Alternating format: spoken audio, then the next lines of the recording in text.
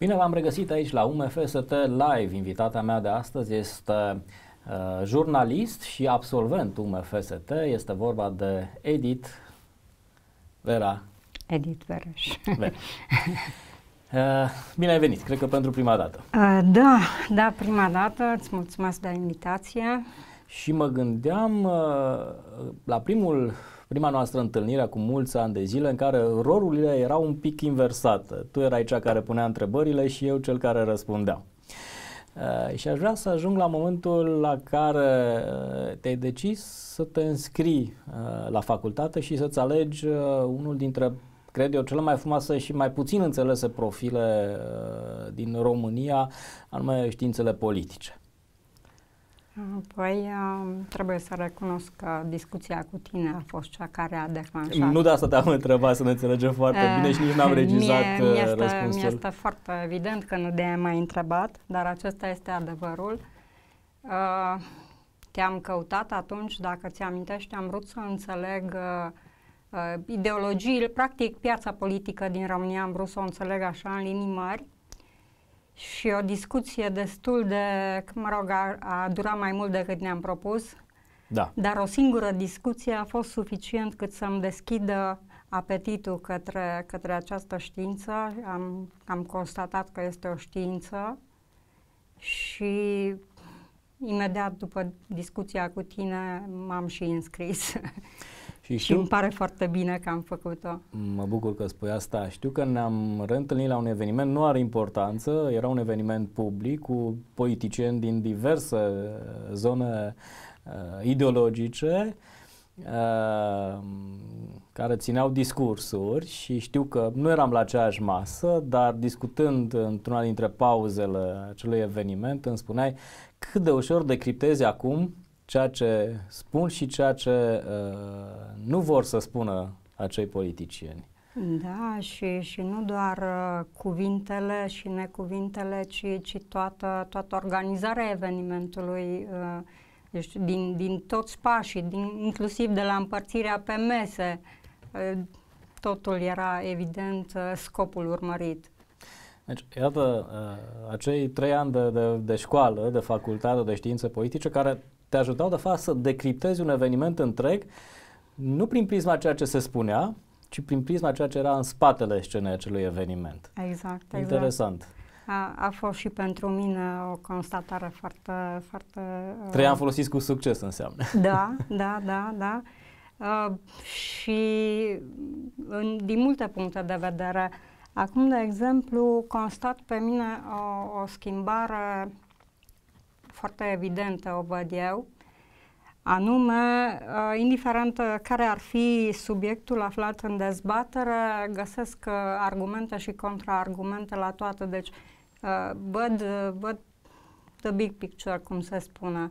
Imaginea de ansamblu. Imaginea de ansamblu, da, și cred că asta, asta lipsește foarte, foarte mult, să vezi imaginea de ansamblu a Cred societății. Că, uh, cred că, și aici îți dau dreptate, cred că lipsește această abilitate majorității uh, celor care compun societatea românească, pentru că văd că ne zbatem în, uh, într-o retorică de multe ori falsă, în lucruri lipsite de substanță și de fapt uităm să vorbim sau uităm să tratăm chestiunile care sunt importante pentru societatea noastră cu atenția cuvenită. Tocmai pentru că nu avem abilitatea de a privi această imagine de ansamblu a societății românești. Da, de, de, de când am reușit eu să, să absolv, trimit pe toată lumea să facă științe politice, serios. Chiar și numai pentru cultura generală.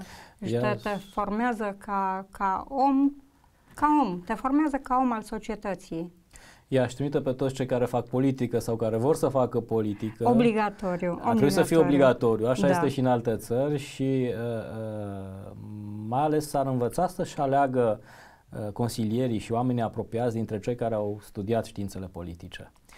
Uh, se vede această lipsă de cultură, această lipsă de, această lipsă de profesional, profesionalism se vede în societatea noastră și se vede la modul în care ea este manageriată. Din păcate. Nu, nu știu, s-ar putea să nu fim de acord. Nu putem să nu fim de acord la asta. Uh, mi-amintesc, lucrarea ta de licență a fost pe comunicarea politică, o lucrare foarte bună uh, și cu un studiu da. aplicat pe ceea ce a însemnat campania electorală în, în uh, România. Um, care au fost lucrurile pe care le-ai învățat sau care ți-au devenit mult mai clare după acea lucrare de licență? Hmm. Da, a fost, a fost o revelație și lucrarea de licență. Recunosc că am început-o cu niște idei preconcepute. Așa gândim noi, ne e mai ușor să gândim în idei tipare. preconcepute, în tipare. Uh, și am pornit cu o idee așa destul de, de clară ca să ajung la concluzia până la urmă că de fapt ce gândisem eu la început nu e valabil. Uh, adevărul nu, e, nu este un, ceva universal valabil, nu există bine și rău universal valabil. Absolut. Și, uh, și că întotdeauna să, să încercăm să vedem imaginea de ansamblu, să nu căutăm vinovați neapărat, pentru că și vinovăția este, are umbre, nuanțe de gri Cred că are foarte multe nuanțe de gând. Așa, și rău și binele, nu, nu există nimic absolut. Cam asta a fost o revelație pentru mine. Și, pe de altă parte, mi-a confirmat uh, alte idei pe care le-am avut, anume uh, există oarecare rezistență la, la informația corectă. De ce crezi că suntem într-o astfel de situație? Sunt, sunt foarte mulți factori care, care intervin aici. În primul rând, revoluția internetului, care, care a dat peste cap tot ce înseamnă informație. Și iarăși din lucrarea de licență am învățat ceva ce mi se pare extrem de important acum, dacă se spunea la un moment dat că uh, cea mai importantă resursă ar fi informația, nu mai este informația, ci atenția. Uh, atenția și acolo merge lupta pe captarea atenției prin orice mijloace. Și asta, asta uh, deraiază complet cursul informației. Informația, puterea informației a fost unul, de, unul dintre subiectele de dezbatere, uh, sigur la una dintre uh, reuniunile trecute ale grupului Bilderberg, a fost foarte interesant. Sigur, agenda este publică, ea nu ea poate fi consultată. Uh, și s-a plecat de la o realitate. Faptul că mainstream media, media oficială, și-a pierdut foarte mult credibilitatea. Din păcate, este și vina mediei, trebuie să o recunoaștem. Ai lucrat în media, am lucrat și eu în media, știm, să spunem, și păcatele acestei meserii. Um, iar pe de altă parte, faptul că cineva postează pe internet o anumită informație ajunge să fie mult mai credibilă decât informația venită pe surse oficiale. Și uh, spunea unul dintre participanții la această reuniune, e firesc să se întâmple până la un moment dat acest lucru. De ce? Pentru că gradul nostru de cultură este unul care lasă foarte mult de dorit, educația noastră lasă din ce în ce mai mult de dorit, adică suntem mai puțin educați, cu alte cuvinte, iar faptul că vecinul meu care are același nivel de educație ca și mine, aceleași așteptări, aceleași viziune asupra lumii, spune un anumit lucru, uh, este mult mai credibil pentru mine. De ce? Pentru că eu înțeleg uh, conceptul lui. Eu înțeleg modul în care el vede și se raportează la, la lumea care îl înconjoară. E un pericol foarte mare și vedem că se întâmplă. Uh, internetul, din păcate, sau mediul online abundă de, de uh, aceste informații manipulative. E facil. E facil. E facil. Uh, am impresia câteodată că omenirea trăiește într-un fel de, de adolescență întârziată, uh, gratificare imediată. Da, stăm la pubertate, ne-au ieșit la, coșurile și exact. cam atât. Cam, cam, cam acolo suntem.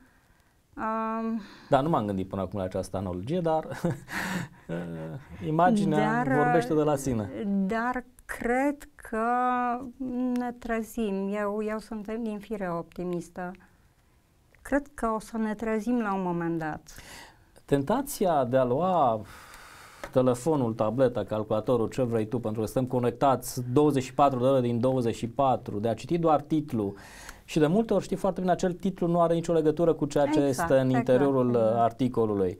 Uh, faptul că există generații care nu mai acceptă dialogul, care iau de bun tot ce apare aici, e, dacă ți amintești, acea perioadă de după 90, de după lovitura de stat, da? când comuniștii din linia a doua și a treia au dat jos pe aia din linia întâi ca să ocupe ei uh, funcțiile în România, în care dacă scria ceva într-un, într-un ziar, lumea o lua de bună. Domnul a scris la X, da? A dat la Da. TV. așa e, pentru că am citit eu un ziar, domnule, nu contează. Puteai să, să scrii orice minunăție, era adevărat pentru că scria în, în, în, uh, în presă. Uh, Nu suntem oare într-un moment similar în care, sigur, ziarul acela tipărit este înlocuit acum de mediul online, în care generații nu mai vor să dialogueze și nu mai vor să, uh, să asculte și contraargumentele care pot exista la un anumit topic. Eu am impresia că aici suntem în acest moment. Da. Da, sunt, suntem într-un moment asemănător. Pe de altă parte, știm cu toții uh, că ne este mult mai ușor să credem uh, informația care corespunde cu, cu credințele noastre interioare. Deci, dacă ne place ce auzim, credem. Credem, dacă da? nu, da? nu. Pentru că ne confirmă ne, propriile ne confirmă propriile presupoziții exact, despre... Da. deci și iar pe, pe internet, pe Facebook, găsește, intri în bula ta, prac- practic primești doar informațiile care te, te confirmă pe tine. Și da. atunci, Algoritmii din spatele... exact, deci algoritmii îți dau exact informația care e țintită pentru tine și atunci unde nu mai, nu mai e cum să faci dialog. putem sparge bula asta pentru că e foarte periculoasă. Da, este foarte m, extrem de periculoasă, dar uh, nu cred că o vom sparge noi, pentru că, iarăși, spuneam, atenția este o resursă foarte limitată acum, pentru că sunt foarte mulți, foarte mulți atentează asupra ei uh, și, și cred că uh, soluția, cel puțin în ce privește informarea, va trebui să vină undeva de la Uniunea Europeană în ce ne privește pe noi, noi avem, suntem în fericitul, fericita poziție de a fi membri ai Uniunii Europene. Da, atenție, și Uniunea Europeană, prin uh, aparatul birocratic uriaș, are propriile interese, propriile nevoi Categoric, și propria categoric, dorință de manipulare. Categoric, dar cât timp printre acele interese este și salvgardarea statului de drept, eu zic că hai să mergem pe mâna lor. Probabil unul dintre uh, lucrurile cele mai importante care vor fi puse în discuție în noul Parlament și de noua Comisie Europeană. Spre diferență poate de ceea ce am văzut până acum. Nu? Statele rebele, dar uh, rebele și în uh, relație cu proprii cetățeni. Da. Da. Da, este, este o perioadă de, de așezare, de, de cristalizare, cred, care se, se va așeza cât de curând, un an, doi. Eu așa, așa sper eu. În uh, 1984, dacă ți amintești, cartea lui Orwell, Așa. erau uh, descrise, hai să spunem, trei, uh, trei puteri ale lumii care se aliau, uh, Da, uh, sigur, conjunctural și de fiecare dată istoria era ștearsă, rescrisă. Mă uitam uh, cât de interesant evoluează lucrurile. Noi creăm Uniunea Europeană, sigur că am pornit de la niște principii mai mult decât generoase, să dea Dumnezeu să le punem în practică, să le menținem și să uh, să ne întoarcem pe, pe traseul pe care l-am început, l-au început părinții fondatori. Că acum mai, cred că suntem așa într-o mică fundătură și ar trebui să realizăm acest Da. lucru. Dar mă uit la rolul pe care îl joacă Statele Unite și inclusiv discuțiile care au loc de foarte mult timp despre o monedă unică ca con- care să, să, să circule pe continentul european, un fel de replică la euro.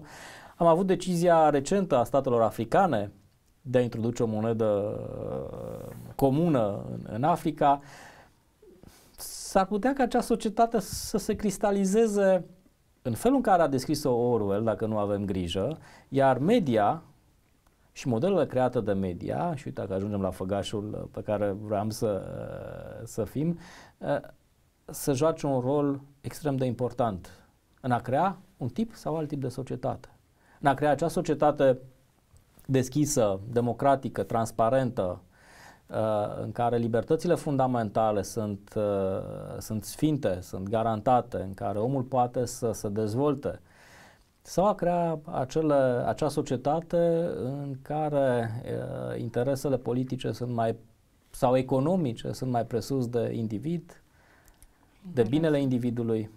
Da, interesele, interesele economice sunt uh, greu de contracarat uh, și, și tocmai de aceea este nevoie de, de educație. I, indiferent de subiect, eu uh, ajung întotdeauna la educație, de asta avem mare nevoie.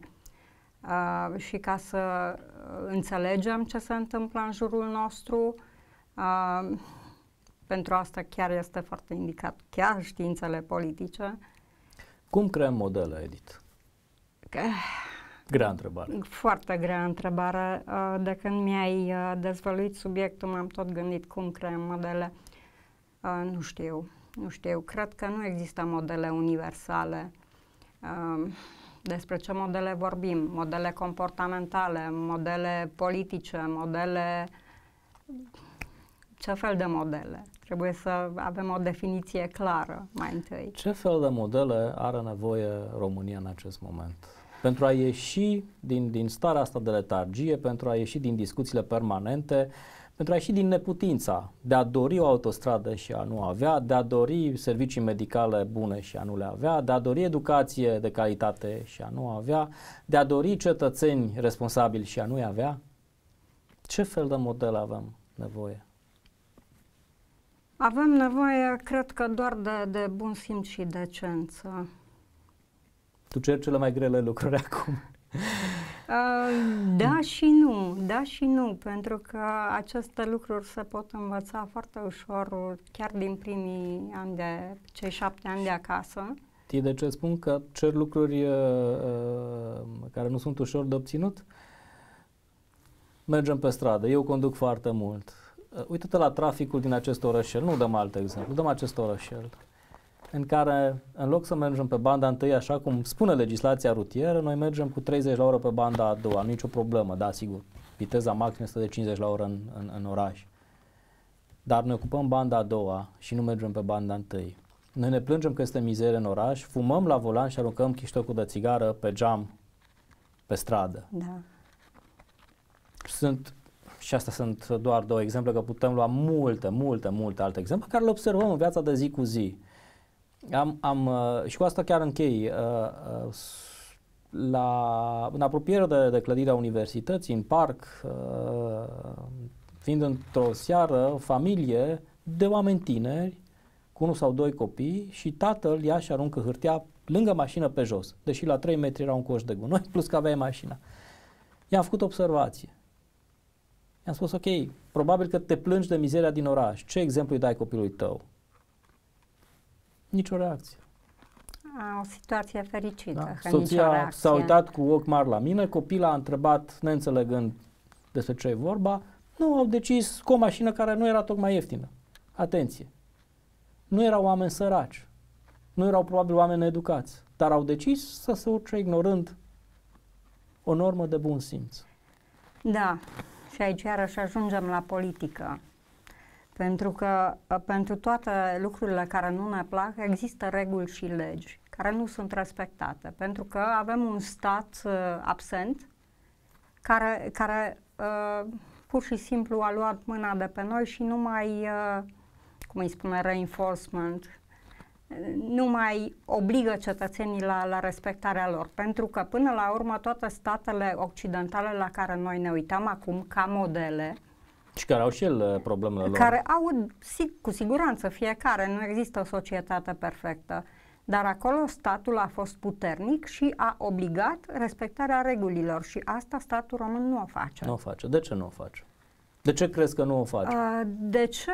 Pentru că e mai facil, pur și simplu. Pur și simplu e mai facil și la adică nu te duci tu să-l amendezi pe omul la care o să-i ceri poi mâine votul. E, e un fel de, de mită și asta. Îi lăsăm în pace, ei ne lasă în pace, fiecare își vede de treabă. Și fiecare fură cât poate. Fiecare e. fură cât poate și vom vedea noi ce ieși peste patru ani. Deși se fură extraordinar de mult și în Occidentul Europei. Categoric. Omul Cred este că peste tot, peste se, tot se fură. Omul este un animal, na, social sau mai puțin social, dar e... Există totuși câteva diferențe, nu? Dacă ești prins furând, plătești. plătești. Atât. Iar la noi, la noi se, mă rog, cu cât mai mare sumă, cu atât mai bine. Uh, nu suntem și noi de vină pentru că am acceptat situația asta, Cum pentru că acceptăm nu? în continuare, pentru că unor ne uităm la acești indivizi ca la niște eroi, probabil visând să ajungem ca ei, să furăm și noi, să ne construim 10 vile la platou dacă se poate, E o modă și aici în politica uh, românească. Sigur, eu dau exemplu platou că trăim în Târgu Mureș, putem să dăm, nu știu, Bucureștiul, Znagov, da? Care cum, uh, da, care cum ajungea premier își făcea o căsuță la Znagov sau o vilă sau, nu, prin guvernul României. La noi, care cum ajunge într-o funcție de șef de Consiliu Județean, de, da, repede să, să-și construiască ceva, să, un fel de statement. Da, sunt important, am vilă la platou am o mașină de 100.000 de euro în garaj. Da. De aceea Foarte bine. nevoie de bun simț și decență ca să învățăm că omul nu este este atât de simplu. Omul nu este ce posedă, sau cel puțin n-ar trebui să fie ce posesiunile. Asta ne spune uh, tot media, asta ne spune media din, din 90 încoace. Omul este ceea ce posedă, nu ceea ce gândește, nu ceea ce face, nu ceea ce uh, uh, are ca și potențial, ci ceea ce posedă. Eu cred că acum... O casă, mai... două, trei, zece, una, două, zece mașini, un Eu mandat peste mandat, că... peste mandat, peste mandat de primar, de parlamentar, de prefect, da, de da. șef Așa de instituție. a fost 30 de ani, da. Și cred că acum suntem în acel moment în care paradigma se poate schimba. Deci s-a, s-a văzut doar prin implicare. În implicare se generația care, care s-a maturizat după 89, uh, mă rog, o parte a ei, dar suficient de numeroasă cât să, să creeze un val. Pot eu, ca și tine, da? care am văzut toate aceste lucruri, care am văzut parcările instituțiilor publice cu mașini mult mai scumpă decât ar fi trebuit să-și poată permite angajația celor instituții publice, orice instituție publică. Putem noi să mai avem încredere că există cineva capabil să genereze un astfel de model în care să fiu convins, să mă duc la vot convins că acel om dacă va ajunge într-o funcție nu va face la fel ca și predecesorii săi? Pentru că e o întrebare importantă. Și cred că ea explică într-un fel și absenteismul românilor la vot. Nu există garanții, deci nu poți să garantezi pentru, pentru nimeni, nici pentru propria persoană nu poți să garantezi la adică. Dar este atunci când, când toată țara a putut să vadă cum zeci de mii de oameni au stat luni, luni de zile au stat în stradă, au adunat semnături în frig, în ploaie, în, în soare la 40 de grade și pentru fără penal, pe urmă pentru inițiativa Oameni Noi în politică. Deci oamenii aceia care chiar au făcut niște eforturi supraomenești, îți garantez, fără să, nu ca să primească ceva, un, un beneficiu, or, oricare ar fi fost el, ci au investit chiar în această mișcare, eu mă gândesc că e cel puțin un, un motiv să le dăm o, o șansă. Poate că o, o să, să construiască o societate mai bună decât cea pe care am construit-o noi până Poate acum. Poate da. Dacă nu, asta este. Trebuie să... Dar merită încercat. Merită încercat. Deci E, cum se spune, definiția prostiei absolute este să faci același lucru în permanență și să aștepți rezultate, rezultate diferite. diferite da. Deci hai să încercăm altfel. Ehm, până la urmă, dacă ai întreba orice român ce își dorește, nu sunt foarte multe lucruri pe care, sigur, dincolo de acel set personal, gen sănătate, fericire, mă rog, o nevastă înțelegătoare ca să stau seara cu băieții la o bere, nu? Glumesc acum. Dar sunt sunt lucruri minimale și de bun simț. Da, vreau o școală în care copiii mei, copilul meu, da, copiii mei să fie bine educați, să aibă acces la cunoaștere, nu la informație, la cunoaștere. vreau un sistem sanitar, un sistem medical în care dacă mă duc să fiu tratat cu respect da? și să pot să-mi găsesc leac pentru ceea ce m-am dus dacă el a fost inventat. Vreau o infrastructură da? în care dacă vreau să plec la București sau la Budapesta, să mă urc pe autostradă sau să mă urc într-un tren curat și de viteză care să mă ducă în siguranță acolo unde vreau să ajung. Sunt lucruri minimale, de bun simț, la spune. Dar iată că în, în, în uh, 30 de ani aproape nu le avem. Da, pentru că nici nu le-am cerut. Adică le-am cerut așa între noi uh, pe, pe Facebook, timid. Da, timid. Mă, între noi, așa, la o șuetă. Dar n-am ieșit ferm în fața uh, statului român și să dăm cu pumnul masă. Măi, eu am dreptul la aceste lucruri. Eu astea trebuie să le am. Te rog să mi le dai că eu îți dau ce mi-ai cerut tu. Da, asta e o relație, sigur. Deci, uh, până la urmă, trebuie să te accepti pe tine, să te respecti tu pe tine, ca să știi că ai dreptul să-ți pretinzi drepturile uh, de la stat. Și să nu uităm, în permanență spun, nu am doar drepturi, am și obligații. Ori Categoric. Există categorii de cetățeni care uită de acele obligații. Am obligația să-mi plătesc taxele și impozitele, am obligația să mă comport civilizat, da? Deci am și o serie de obligații în raport cu statul. Nu pot să cer autostradă, nu pot să cer școală, nu pot să cer uh, medicamente dacă eu nu îndeplinesc obligațiile. Dar, din păcate, sunt și mulți astfel de cetățeni care nu își îndeplinesc acele obligații minimal. Categoric. Suntem interconectați.